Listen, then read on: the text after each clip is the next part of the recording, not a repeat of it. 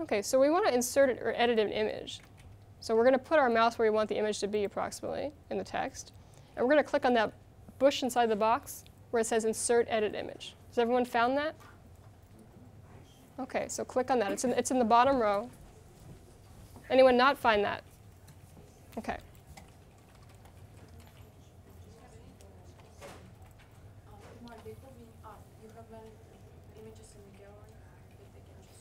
Yeah, don't worry, we're gonna. Okay, so this is the image manager. Like I said, we're using something called JCE to edit our articles, the, J, the Joomla content editor. So if you're, if you're working from a fresh Joomla install, it's not going to look this fancy. It's going to be more limited. But this is obviously a lot more convenient. Okay, So this gives you a lot of options. And now there are some, art, some images that come with Joomla that are already here, which you're not usually going to use. But in this case, we'll, we'll try one just for an example. So Joomla has a key. If you click on key, you will see an image of a key. Up on here, you will see a URL. There must be a URL in there. If you don't see a URL, you need to click on key again. Okay? It will give you the dimensions, and it will let you choose alignment. Margin is how much space between the image and the text. Often, if you're going to have something in the middle, I like to put in, let's say, 5 or so. And if you don't unclick equal values, it will be 5 all around. If you do unclick it, you can do it differently. You can do like 8 on them. I don't usually do borders on images, but you can. If you do a border, just set the, the style. And you'll see there's a preview on the right-hand side. You can see what that would look like. Okay. You can change the color. That's going to be really ugly. Um, so all we did right now is we went into Insert Edit Image. We chose an image that was already on the website, in this case a key. We made sure that it had a URL. And we played with this a bit. We set alignment. And this is all stuff you can, you can go back and forth with left, right, clear, has how the text wraps around the image. Okay. Margin gives it a little space, because usually if the text and the image are scrunched up right next to each other, it's hard to read.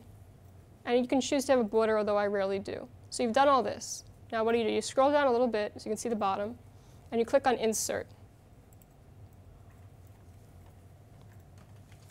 Does everybody have an image inside of their article? You have to kind of scroll down a little bit on that box. Do you see that? To the bottom. Lisa?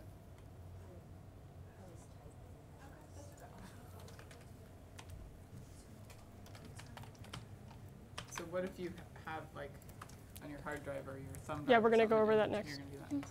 I don't see an undo button. Um, there is no undo button. Um, you can try, let's see if you can try, let's see if Control Z works. Yeah, if you type in Control, control hold down Control and Z, that will work for undo. Um, there might also be an undo up here somewhere. Take a look. Oh, there it is. Yeah, undo right there. So, let's see if there's redo, yeah. Does everyone have an image in their text at this point? I'm missing where was the insert? You had to kind of scroll down. Um, have Natasha come over. Which page on the image manager? Oh, I see, okay. Okay. Does anyone not have an image inside of their text at this point? Jay, are you good? Okay. Now, usually when you're building a website, you do not want to have images of Joomla keys all over the place. This is going to be very limiting in terms of your, you know, development as a web desi designer and developer. So we're going to put something else besides a key in there. Okay. Um, the thing is, since we're not on our own computers, we don't necessarily have images right here, but I'm going to show you how. We're going to click on Insert Edit Image again. Okay, and this is a little bit hidden here, but on the right-hand side, the middle icon over there says Upload. And that's what you would click on. Okay, then you click on Add, and that lets you browse the hard drive of your computer. Or you could actually, you can probably get to the USB drive this yeah, way as well. I just figured that out. Okay, so here's the thing about images. It's okay to plug a USB. It is okay to plug a USB drive in. Um, you want to edit and format your images before you upload them to the website. This is important. You do not want to upload gigantic images to your website. You don't want to upload one megabyte images to your website. You want to format your images for the web before you upload them. And there's different ways to do this. A program I like to use is called paint.net. It's free. A lot of people use Picasa, a Google program. There's tons of software out there, free and otherwise, for editing images. And the main thing is, like, if an image is huge, you need it to be the size you want it to be on the page, pretty much. I mean, you can you can wiggle a little bit afterwards, but you, you really you don't want to. The reason you don't want to do this is because if you stick a one megabyte image in your page, even if you scale it down really small, the person who visits your web page is still gonna have to wait for that whole megabyte image to load. It's gonna slow things down, and slowing down is not good. So what we want to do is we want to format our images beforehand. So what's the recommended size? I say under 100 kilobytes. And of course, if, if this is a, you know, a, you have to use your own discretion as well. Something's going to be like 10 kilobytes, to be a very tiny little image somewhere. But in general, just keep it small, as, as small as it can be for your own purposes. I mean, if you need a big image, you need a big image. But play with different formats and see what you can get, and just uh, keep it. The, the, the lighter weight the site is, the faster it's going to go. Okay. Does anyone have any questions about editing images before you put them up? No? Okay, so just it's, it's, it's important to do. Um, you go out and take pictures with a regular like you know 10 megapixel camera, and you have it on a high setting. Those pictures are going to be huge, like literally like gigantic, and you don't want to upload them directly in here. First of all, it's going to take forever just to get them up to the website, and then it's going to take forever for your pages to load. People are going to say, "Why is your site so slow?" It's because I'm using these gigantic images. Okay. Could you show us how we would insert an image if we didn't have this cool thing that you provided for us? No. No, I mean, I, I can technically show it to you, um, but it involves turning off JCE Editor. Oh, oh, okay. because, because it's part of the editing system that we're using. If you want to, at lunch or something, for a second, I can show you what happens, but it's just very unattractive and you're not going to want to do that. Even if you don't use JCE, there are other editors out there. There is WYSIWYG Pro, for example, which is commercial, and there's a couple other ones so you can, you can check out. Um, JC is a very, very popular editor um, because it's free and it's very powerful and it lets you upload images. The regular way to do it, you, don't, you can't actually upload images in the article, is a major pain. So you need to download that separately from Joomla? Yeah, no, from, You're running your own server. Well, if you're going to install a different extension, JC is an extension, then you would go and you would find that package, and I'll show you how to install things later, but and you would install it on the website itself, regardless of what server or whatever you have it on, just even if you know.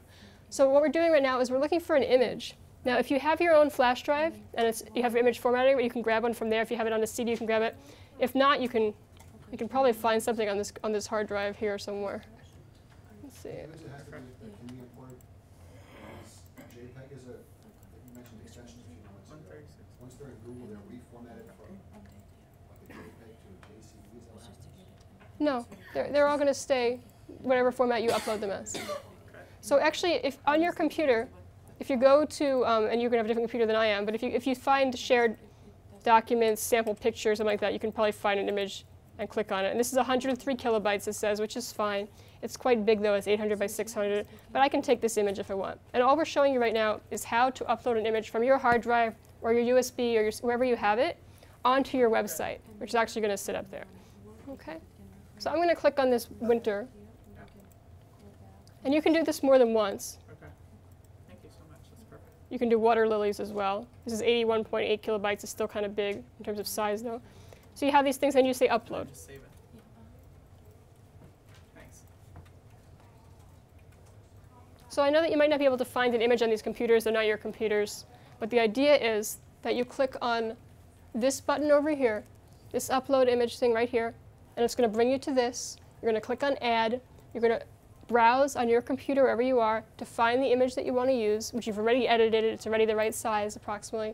And then you're going to click on, you're going to add it to here, and then you're going to click on upload. And these are both uploaded right now because you see there's green checks or white checks on green backgrounds. Okay. Once you've uploaded, this box still stays here. You just you can just close it. Okay. Now when you do that, it doesn't automatically insert it here. You have to actually click it again. Make sure that you have a URL on the top. Okay. You can choose the alignment if you like. If not, it'll do whatever it wants. And put a little space in here between the text and the image. And then you click insert. Okay. And like I said, it's a pretty big image right here. Now you can resize things a bit inside, even though it's not recommended, so you can make it a little bit smaller here. Like it's okay to resize things, like tweak it a little bit, a little bit bigger, a little bit smaller. It's, you don't want to just do major resizing because then you're just kind of wasting your time and space and everything.